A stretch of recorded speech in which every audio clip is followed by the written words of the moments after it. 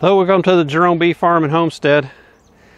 Uh, last video when I was in this hive number 22, someone left a comment that this hive is honey bound.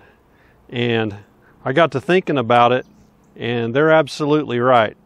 This top deep brood chamber was completely full of honey and I need to put some empty frames or some drawn frames in the middle of this top deep chamber so that queen can go up and lay. Otherwise, she's going to feel constrained and want to swarm.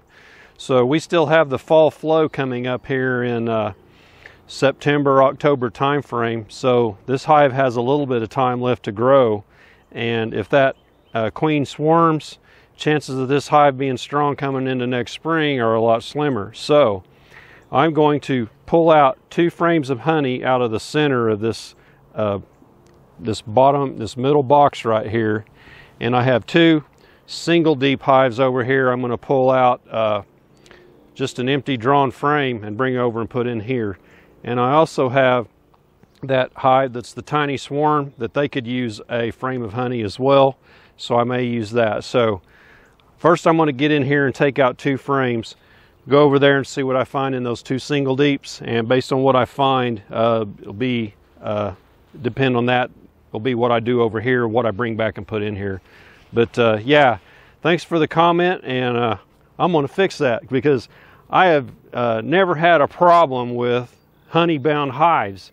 It's usually pretty dry here in central Oklahoma, and our honey flows, my honey flows that I've experienced are not that strong. This year it was, so this is my sixth year of beekeeping, and this is the first time I've ever seen this problem, so I didn't know what to do with it. I didn't even recognize it. So thank you to the person that left the comment and uh, we're going to fix that right now so let's get started.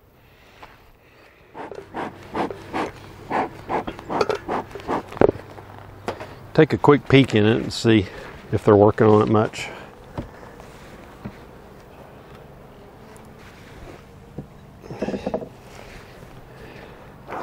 If I remember right they hadn't even touched it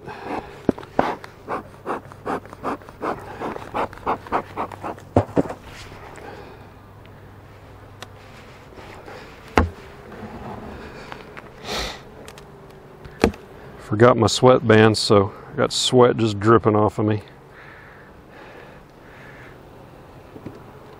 Yeah, there's nothing going on up here at all whatsoever.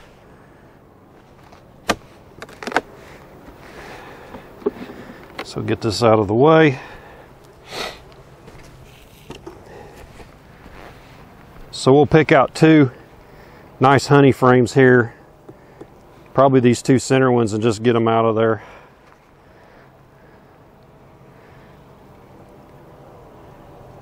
Give you a shot of what that looks like. Okay, so you can see there, you can see all the honey. So all these frames are full, except that one on the very outside, or the two outside ones. So I'm gonna pull this outside frame, just so I can work my way in there.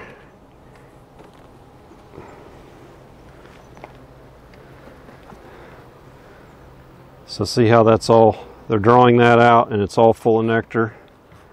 Same thing there, and that's the outside frame. Most of my hives, the bees don't touch much of the outside frame at all. Here's one I checkerboarded in later. So the frame next to it is so fat, there's not hardly any room for them to draw that out. So I may make that my outside frame. I don't know. Let's see what else we got in here. So completely full of honey there, honey.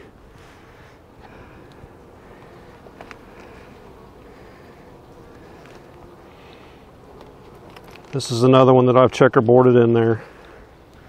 So there's not much room because the one next to it is so fat.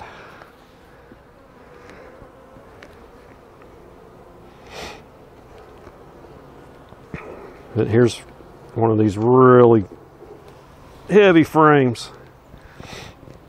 So that is thick 100% honey. So, and that was all filled up in probably two weeks, this whole top box. So I'm to shake these bees off, try to. It's so dang heavy. I need my brush.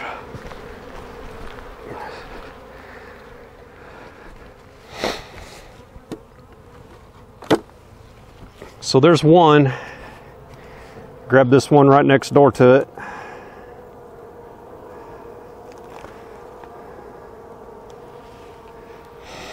Which is all drawn out on this side, but not that one. So I think I'll take this next thick one.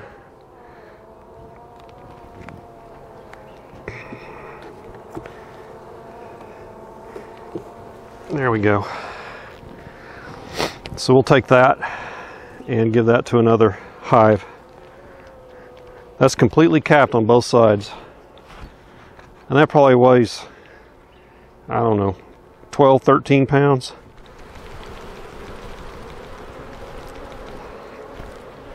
And it's hard to shake.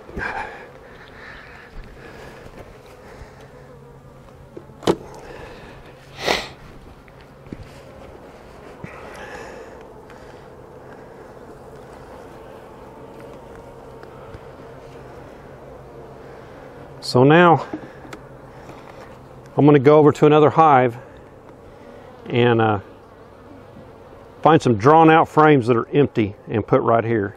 So I'm going to put this inner cover on here just for now, just to hold it. Just so it's not exposed. Now let's go over there and see what we can find on these other hives. As you can see, it's a single deep. Uh, for whatever reason, it's not very strong this year.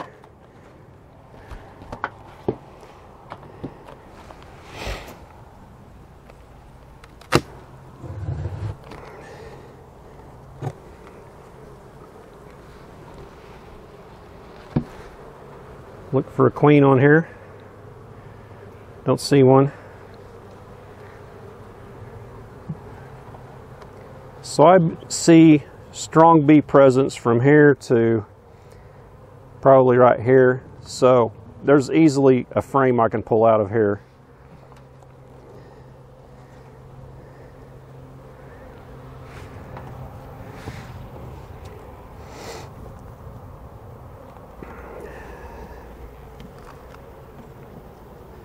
There's one right there. Completely drawn frame, that, well, except for that side, and they're not touching it. So let me grab the one next to it, see what it looks like. I'd like to get one that's drawn on both sides.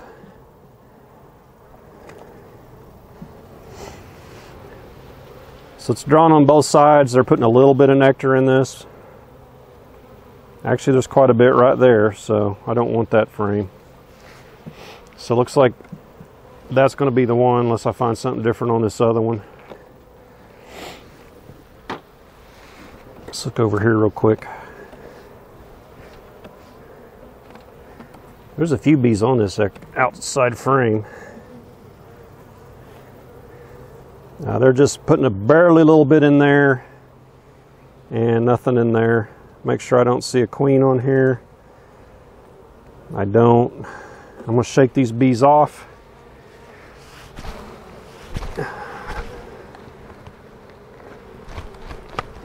I'm going to use this frame right here.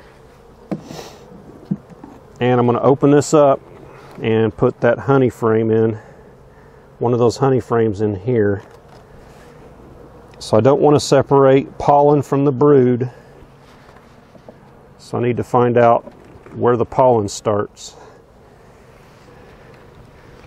So there's brood nectar pollen right there and just nectar right there. So if I put it on this side, I want it right here.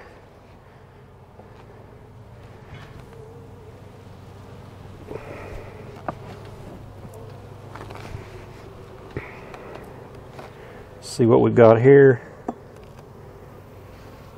Nothing but honey and nectar. And there's brood here and larva, so the queen's using this frame.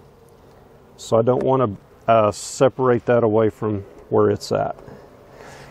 So when I bring the honey over, needs to be in, in, this location or that location. I'll probably put it right here. Okay, we got one of the big honey frames. There's a few bees left on there, that's okay. So I'm just going to drop it in right here for now.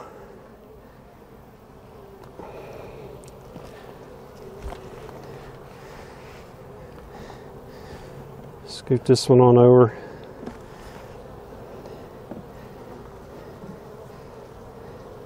And I'm going to put, this one was over, uh, I don't remember. Anyway, I'm going to put it right here with the comb to the inside.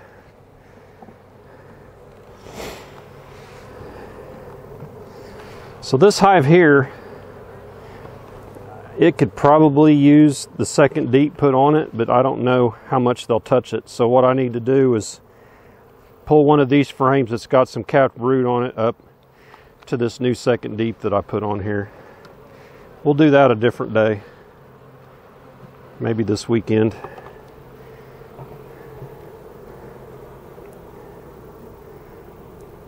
So if this hive doesn't get built up anymore, we just added some resources to it to help help it get through the winter.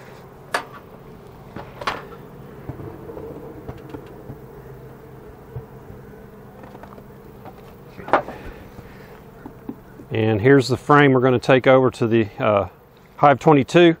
Let's go down here to uh, hive number 15 and we're going to do the same thing we did right here. Okay, here's hive number 15, single deep.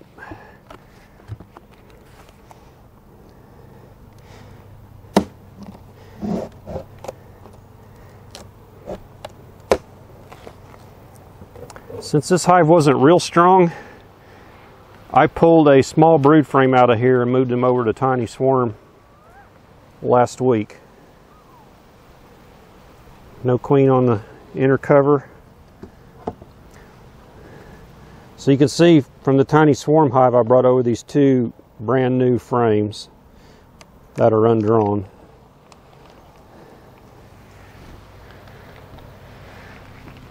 Well, guess what I forgot to put in hive number 11 over there.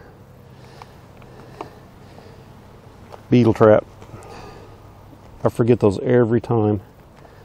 Every time. Think part of every time I'd figure out eventually. Okay, where were we? We're looking for a frame that's drawn out and nothing on it. So that's got a lot of nectar in it. We don't want that.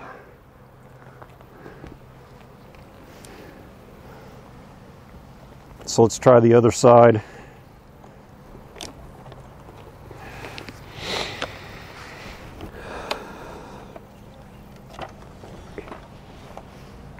We may wind up putting one of those blank frames in there. I hate to do that.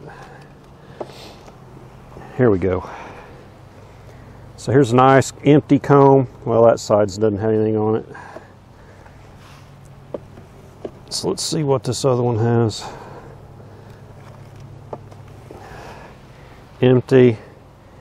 Empty, no eggs, nothing. So since this side's mostly drawn out, this side's completely, I'm gonna grab this frame right here, shake these bees off,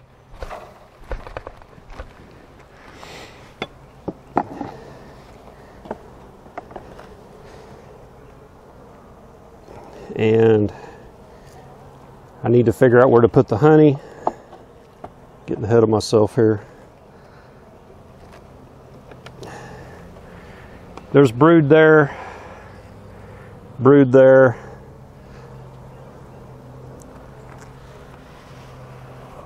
So the honey needs to go right there, I would assume. There's no pollen on that frame. So we'll put it right here. Okay, here's our big honking honey frame. I'm gonna put the uncapped towards the inside.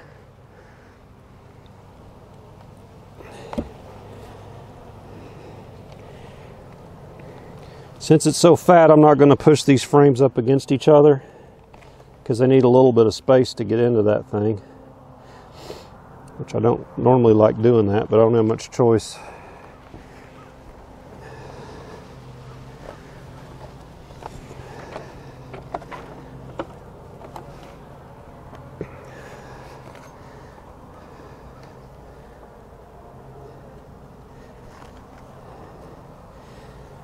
The undrawns back where they were.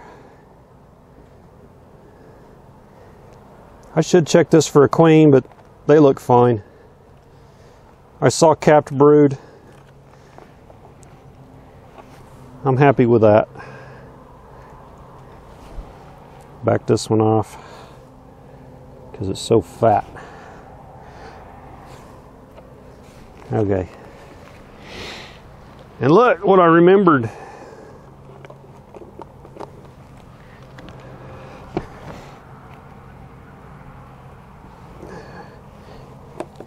Need my smoker. I'm too lazy to go get it. Get out of there.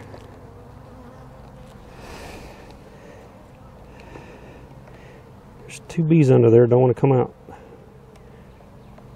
There we go. Okay.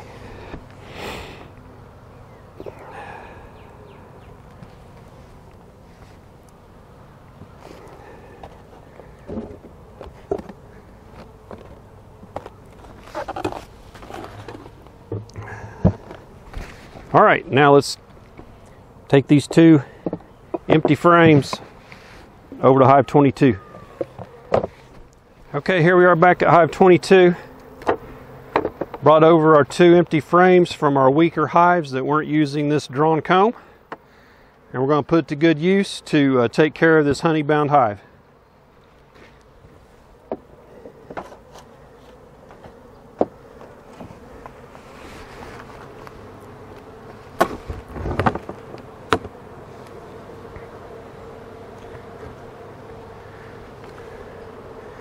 Got a lot of bees up on here. I'm going to shake them down.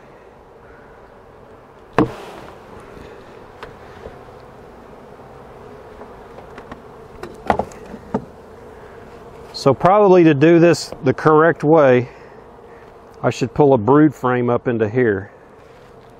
So let's, man, I hate to lift this off of there, but it's so dang heavy. But we need to do it right if we're going to do it.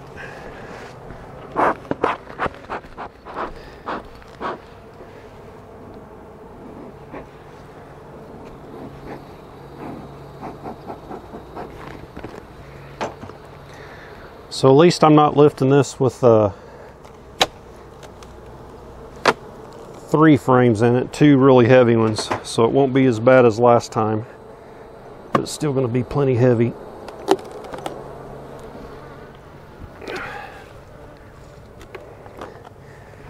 Not too bad. So you can see they already built this burr comb back up again.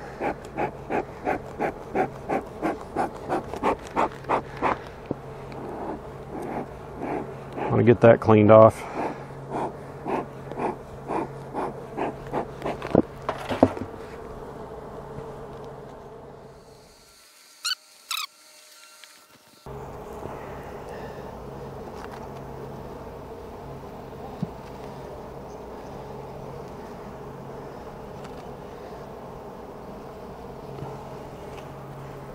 That's mostly honey. All honey.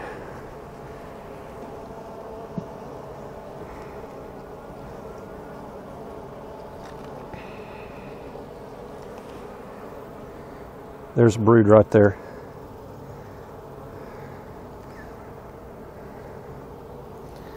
So I'm going to pull this up to the top. Let me go one more.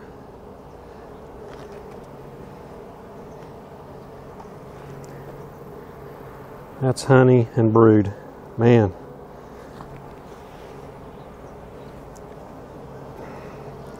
So I'm going to go with this one.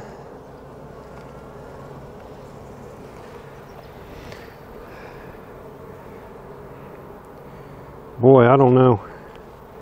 I was hoping they'd have have enough to put empties all around.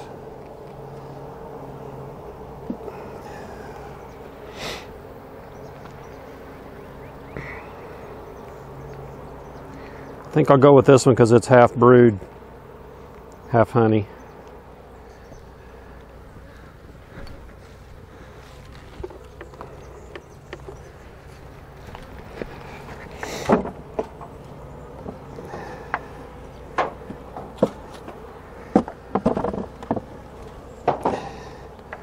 Taking one of the empties, I'm going to put it right here. Put the good side to where all that brood is.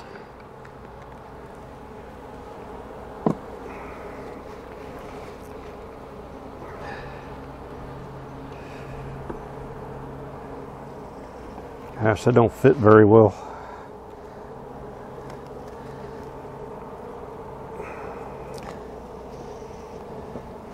This comb was just too thick.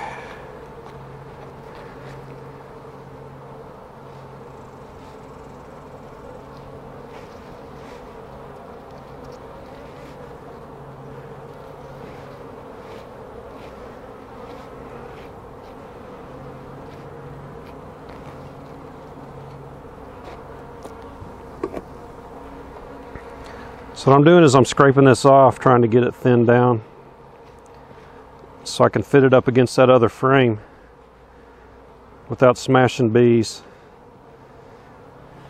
And they'll repair this, it's no big deal.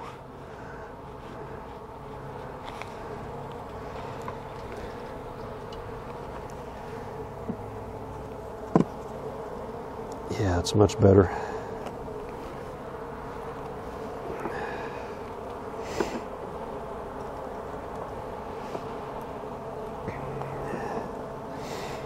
So like I said, I've never uh, done this process before.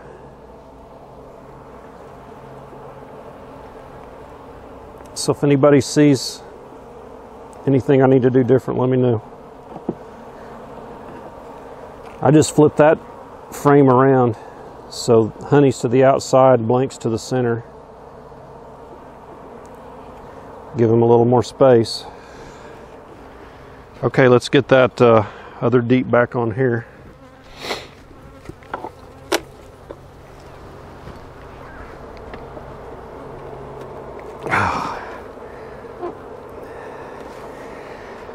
So I pulled that one frame of brood up right here. I have my other empty one here. So it's going to go next to that brood.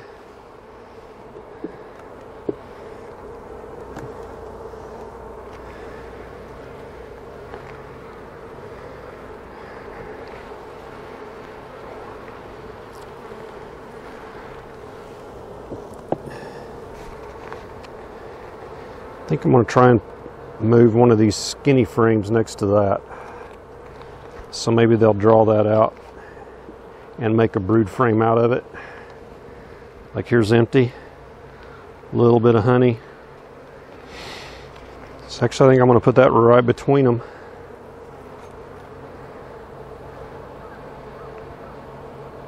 Or actually this is the brood frame here.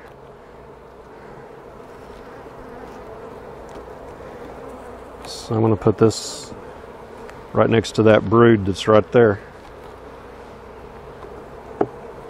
So this gives them an open area that's got one empty drawn frame, brood, and a undrawn, mostly empty frame right there. Oops. So that gives them a lot more space up top.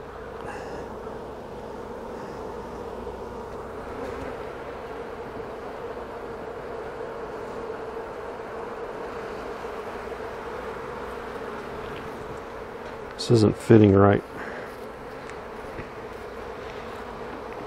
When you get these frames drawn out as thick as they are, because they were up against a frame that didn't have much drawn out on it, there's not a lot of room between them.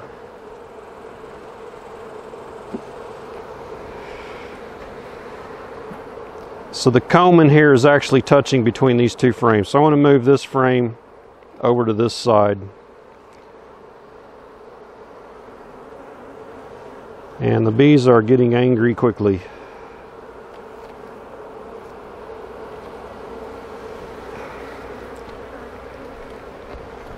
So this frame over here, there's nothing on it on the outside. So it'll fit in there nice and easy. It's a hive beetle.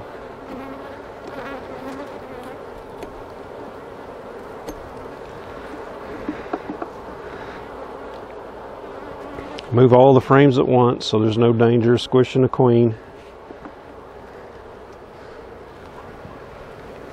So this, what I'm talking about is kind of where I scraped that other one off. This frame is, they've drawn that out way past the edge. So to put it up against another fat one, there's no room in there and you squish bees in between it and they can't get to it to work on it.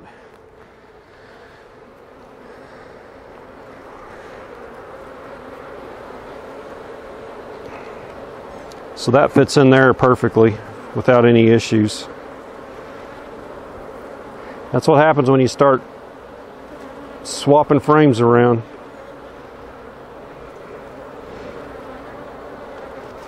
I like to scoot all my frames to the front so beetles can't hide in the front, they can only hide in the back. That way the bees only have one side they have to propolis in to jail the beetles up. Okay, let's get the super back on there.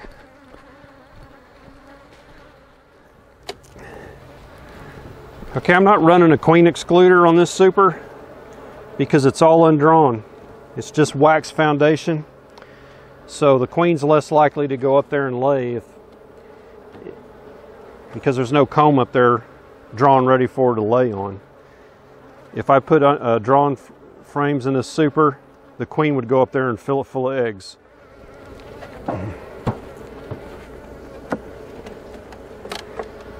Okay, that's it for this video.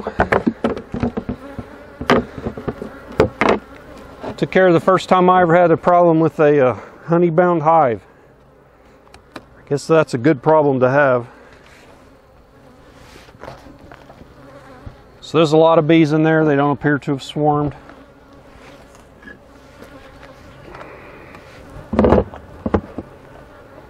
So maybe they'll actually start working on this honey super up here now. So hey, give me a thumbs up if you like this video. Thanks to the commenter who put the comment that said you need to take care of that honey-bound hive. So we did that. And uh, subscribe if you haven't subscribed. We've got a lot going on here at the bee farm. And we'll catch you on the next video. Take care, y'all.